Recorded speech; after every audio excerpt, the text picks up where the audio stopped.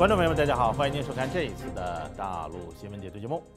英国王室最佳配角菲利普亲王辞世，美国力推战略竞争法案剑指利害国，是本周的两个新闻热点。创造了英国史上最持久的王室婚姻，与英国女王伊丽莎白二世一起生活了七十三年的菲利普亲王，四月九日在温莎城堡离世。这位再有两个月就满一百岁的爱丁堡公爵。堪称现实生活中的最佳配角。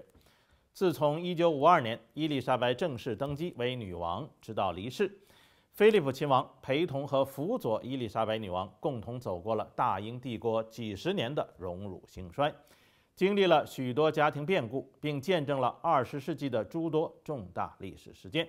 小心翼翼站在权力金字塔边缘的他，经常有一些政治不正确的幽默吐槽。也因此赢得英国朝野的喜爱，有大批民众自发前往白金汉宫和温莎城堡官邸悼念，甚至政治观点两极的英国主流媒体也难得地站在一起，对菲利普亲王的逝世表示哀悼，称他是女王的支柱、王室的靠山。遗憾的是，女王夫妇的传统保守的家庭观没能被他们的子孙们好好继承。这些年不时传出的婚变丑闻，搞得王室灰头土脸，这恐怕也是英国民众怀念过去好时光的主要原因。顺便提一下，菲利普亲王的二孙子哈里也宣布将赴伦敦奔丧，但哈里夫妇不久前接受专访抱怨王室生活的时候，九十九岁的菲利普亲王正在医院接受治疗，不知病榻上的爷爷。看见电视上不孝孙子的这段采访会是什么样的心情？再来看国际关注的美中关系。四月八日，美国国会跨党派议员提出了一个针对中共的重磅法案——二零二一战略竞争法案。该法案由美国参议院外交委员会主席、民主党籍参议员梅南德斯推出，并已获得共和党参议员的支持，将于四月十四号提交审议。如果法案获得通过，将把美中关系开上全面对抗的快车道。这个长达二百八十三页的法案内容主要包括为印太地区的安全提供超过十亿美元的援助，并列为优先要务，以应对中共的军事挑战。议案建议对参与种族灭绝迫害的中共官员进行新的制裁，立法要求每年拨出一千万美元来支援香港的民主。法案还要求提升美国与台湾的关系，取消美国与台湾官员互动的任何限制，采取措施杜绝中共侵犯知识产权，打击中共掠夺性的国际经济行径，审查与中共的金融交易是否存在潜在国家安全风险等等。大家可以看到，这个法案也可称之为“踏破底线法案”。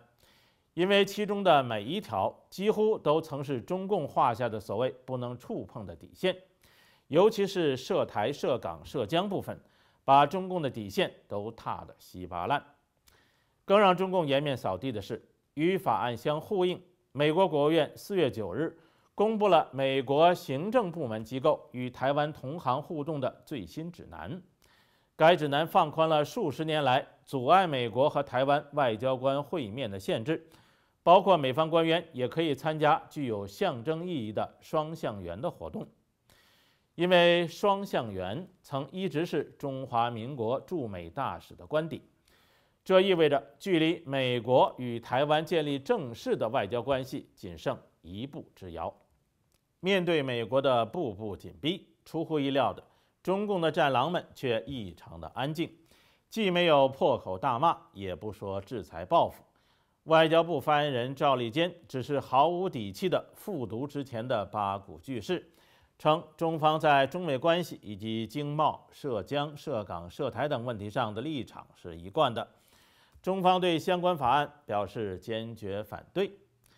其怂软无力的表现，还不如我们的大实话发言人来的硬气。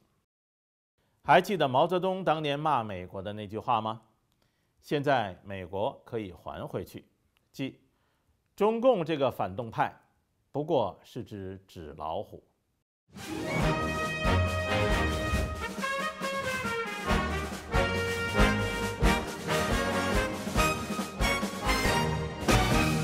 首先，我们对吉尔吉斯坦外交部领事司副司长沙基洛夫在接种中国的新冠疫苗之后死亡的行为表示强烈抗议和坚决反对。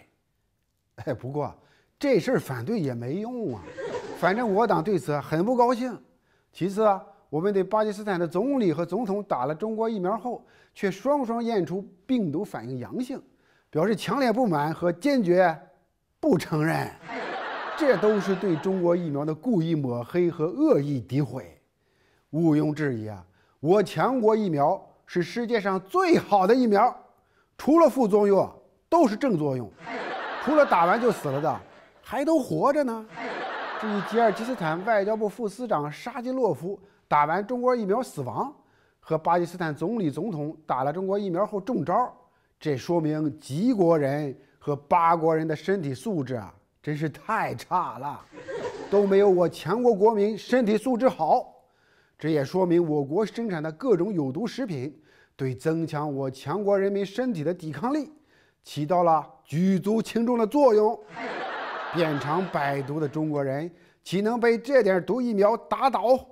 所以你们在我国媒体上看不到任何一例我强国人因为打疫苗出了问题的报道，因为啊，压根儿就不许报。要报只能报，我们一起打疫苗，一起喵喵喵，伸出胳膊擦点药。哎呀，喵喵喵！哎，不好意思啊，让大家起鸡皮疙瘩了吧？好了，下面开始提问。这位记者。美国国务院四月九日公布了美国行政部门机构与台湾互动的最新指南。新指南将使美国官员能够更自由地与台湾官员会面。声明中还说，台湾是一个充满活力的民主国家，是一个重要的安全和经济伙伴，也是国际社会中的一股正义力量。请问对此您有何回应？中美必有一战，看来离这句话应验的那天啊，越来越近了。大家都知道，解放台湾是我党从未放弃的目标，而且如果哪个领导人能做到，他将永垂不朽。我是说，他将永载史册呀。所以哪届领导人都做过统一梦，但也就是个梦，醒来啊想都不敢想，因为一没崛起，二有美国，但现在不一样了。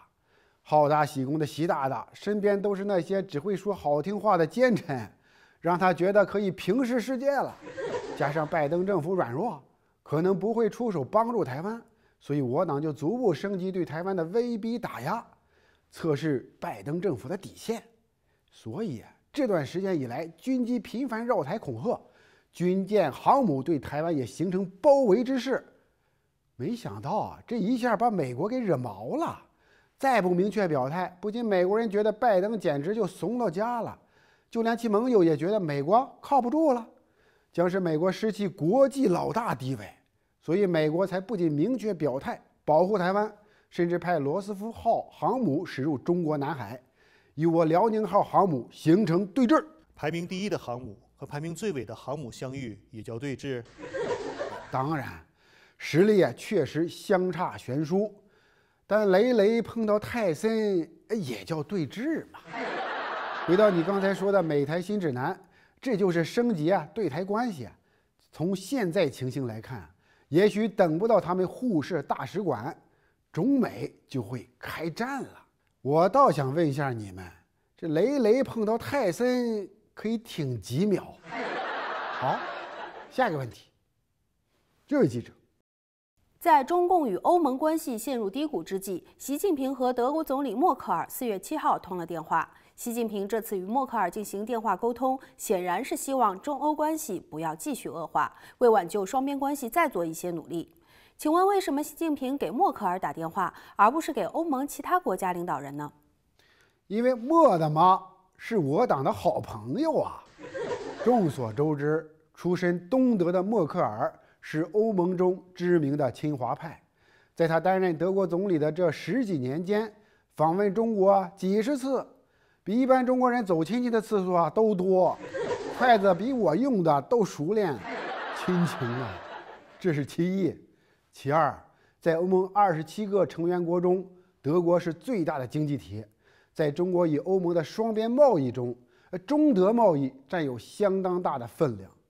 中国连续五年成为德国全球最大贸易伙伴，这搞定德国啊，基本就能搞定欧盟。所以啊，要诱之以利。第三呢，莫大妈是欧盟轮值主席，谈了七年的中欧投资原则性协议，呃，就是在莫大妈的全力助攻下才达成的。现在搁浅了，他也很没面子，懂了吗？这亲情、利益加面子，瞄准莫大妈的软肋，把它作为突破口。但一尊这是一厢情愿了。我党逞一时之快啊，对欧盟制裁和战狼外交官最近在欧洲的流氓表现，已经让欧盟国家彻底死心了。莫大妈也无力回天了。恐怕她再也不能来串门吃烤鸭了。好，下一个问题。